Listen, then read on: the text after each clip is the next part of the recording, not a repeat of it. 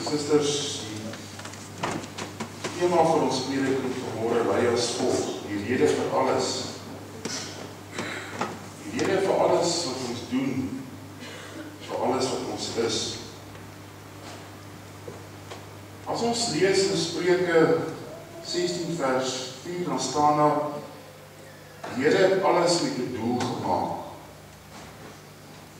En die doel van alles is om God te verheerlik. Om God te verheerlik is die rede vir ons bestaan. Vir alles wat bestaan. Kom ons kyk maar 'n bietjie om ons. God se skepping en sy heerlikheid. Ons sien dit in die kleinste mikroskopiese vorm van lewe, maar ook in die grootste melkweg wat bestaan. Ons sien dit in die sonsondergang en die sterre, die storms en die seisoene. Die skepping stel en toon God se heerlikheid. Want uit die natuur leer ons dat God almagtig is, dat hy wys en skepend is. Die Bybel sê die hemel getuig van die mag van God. Hierdie eeue het God se heerlikheid op verskillende wyse die mens bekend geword. Eers in die begin daar in die tyd van Eden, toe aan Moses, toe die tabernakel, tempel, toe deur Jesus en nou deur die kerk.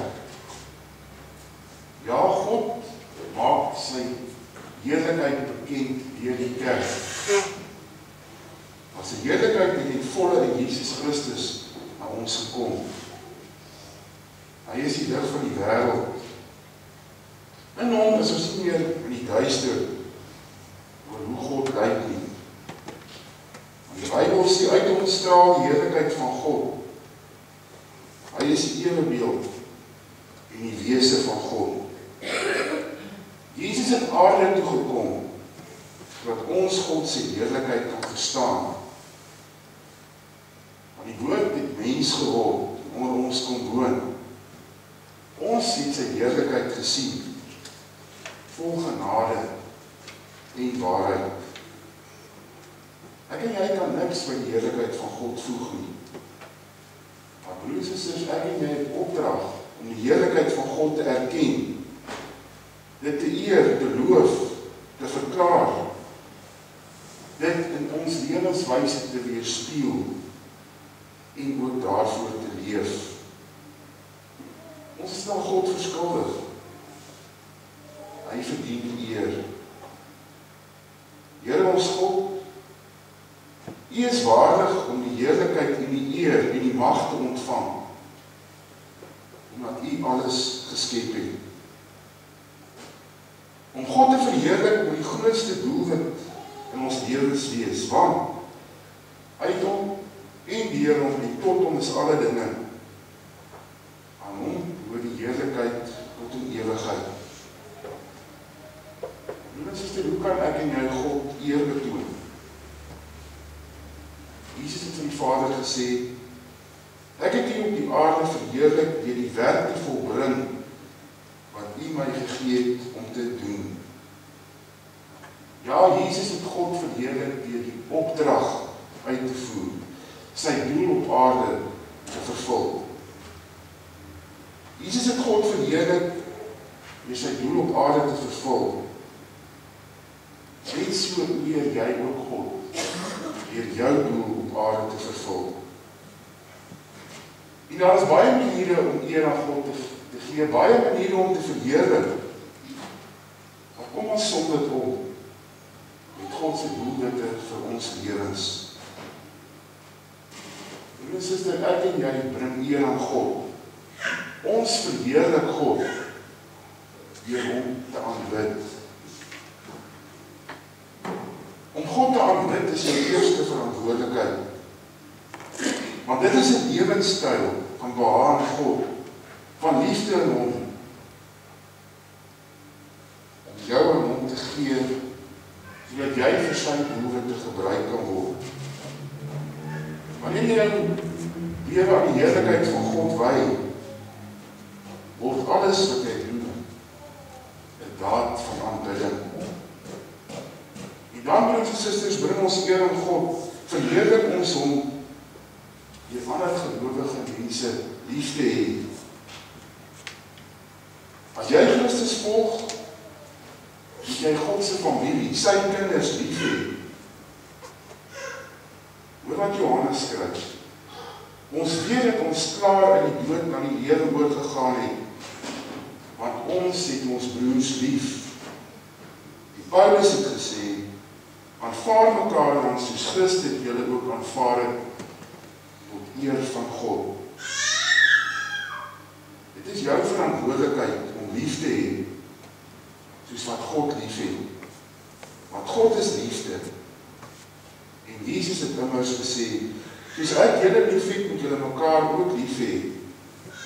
As julle mekaar lief het, sal almal weet dat julle disippels van my is. En dan, broers en susters, bring ons eer aan God, verheerlik ons hom deur Jesus Christus te word. God vra van my en jou geestelike volwassenheid. Dit beteken om soos Jesus te word en hoe jy dink. Hoe jy voel, hoe jy optree. Want hoe meer jy soos Christus word, hoe meer gaan jy eer aan God bring. Ons hoor wat Paulus sê. Hy sê ons word al meer verander om aan die beeld van Christus gelyk te word. Die heerlikheid wat ons uitstraal, neem steeds toe. En Christus het jy 'n nuwe lewe, as jy 'n nuwe mens, moet jy ook net gaan leef. Die Bybel sê Deur Jesus Christus sal jy geheel en al in die regte verhouding met God wees tot sy lof en eer. Dan broers en susters, bring ons eer aan God, verheerlik ons hom deur ander met ons gawes te dien. God het my en jou elkeen uniek gemaak.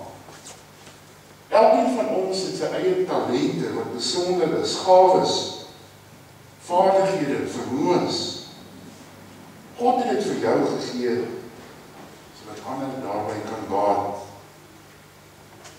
Kom ons hoor ook weer wat die Bybel daaroor sê. As goeie bedienaars van die eenvoudige genade van God met elkeen na mate hy genade gawe ontvang het, die ander dien. As iemand die gawe ontvang het om te preek, moet God deur hom aan die woord kom. As dit is om die gemeente te dien, moet hy dien met die krag wat God verleen. En so moet julle God in alles verheerlik deur Jesus Christus, aan wie die heerlikheid en die krag behoort tot in alle ewigheid. En dan 'n laaste gedagte, broers en susters. Ons bring eer aan God, ons verheerlik hom en ander mense van God te vertel. Die waarheid wat in jou leef, die waarheid wat jy elke dag uit God se woord lees, moet jy met ander mense gaan deel. Dit is 'n groot voorreg om ander mense aan Jesus Christus bekend te stel. Hulle help om hulle doel te bereik. Bybel sê ons weet immers dat God, wat die Here Jesus uit die dood opgewek het, ons ook saam met Jesus sal opwek en ons saam met julle voor sy troon sal stel. Ons doen dit alles in julle ontwil, sodat die genade van God steeds meer mense kan bereik. Dan word die dankgebede ook meer en God ontvang die eer.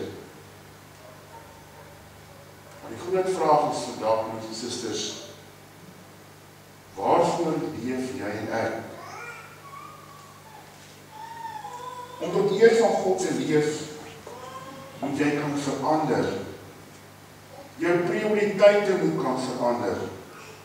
Jou skedules, die verhoudinge wat jy met God en met jou medemense moet kan verander. En om tot eer van God te leef is nie altyd maklik nie. Dit was selfs vir Jesus moeilik. Want voor sy kruisiging het hy uitgeroep: "Nou is ek diep ontstel. En wat moet ek sê? Moet ek sê Vader, red my hierdie uur? Maar juis hiervoor het ek gekom vir hierdie uur. Vader, verheerlik U naam. Jesus was God gewees, hy het 'n keuse gehad. Hy moes sy doel vervul en God verheerlik. Of hy kon dit laat vaar. Maar hy het die moeilike weg gegaan van lyding en vernedering. En so het hy sy doel vervul. Ek en jy staan voor dieselfde keuse. Gaan jy vir jou eie doelwitte of gaan jy daarvoor vir jou doel wat God jou het om hom te verheerlik? Jesus sê vir my en vir jou wie sy lewe bo my liefhet verloor het en wie sy lewe in hierdie wêreld nie bo my liefhet nie sal dit vir die ewige lewe behou. As iemand my wil dien, moet hy my volg. En waar ek is, daar sal my dienaar ook wees. As iemand my dien, dan sal die Vader hom eer. Hoe sit dit die leef ek en jy? As jy bang is om nie krag het om vir God te leef nie, moet dan nie bekommerd wees nie.